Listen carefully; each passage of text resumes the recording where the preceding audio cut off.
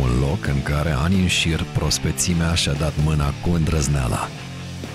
Casa de Cultură a Studenților din București a fost un focar de talente și o oază de libertate în anii grei de comunism.